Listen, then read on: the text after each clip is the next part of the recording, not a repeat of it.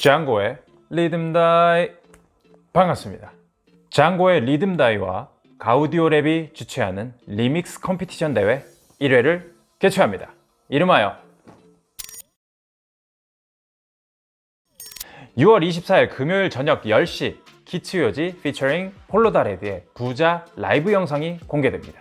해당 곡의 아카펠라를 이용해서 beatmaker분들, 프로듀서분들 새롭게 곡을 재해석해서 만들어주시면 되겠습니다. 그냥 하면 당연히 재미가 없겠죠? 1등 상금 무려 100만원! 그리고 이렇게만 하면 좀 재미없으니까 제가 열심히 티셔츠도 만들었습니다. 이것도 같이 드리도록 할게요. 지금 제가 입고 있는 이거예요. 심플하죠? 여기에 뭐막 어? 장고의 리듬다 이런 거 쓰면은 안 입을 거잖아. 그래서 그런 거 싹 다 뺐습니다.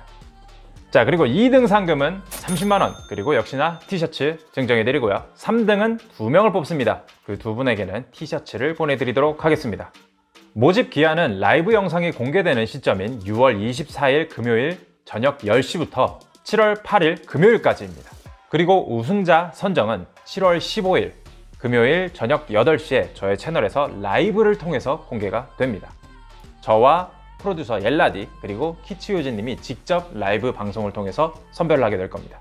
참여 방법에 대해서 알려드릴게요. 24일 금요일에 공개되는 라이브 영상의 하단 설명란에 제가 3개의 링크를 남겨둘 겁니다. 첫 번째 링크는 음원의 다운로드 링크입니다. 그리고 두 번째 링크에 들어가셔서 파일 선택, 다운받은 음원을 넣으시고 분리 요청을 누르시고 완료가 되면 이렇게 보컬과 드럼, 베이스, 나머지 악기로 분리가 됩니다.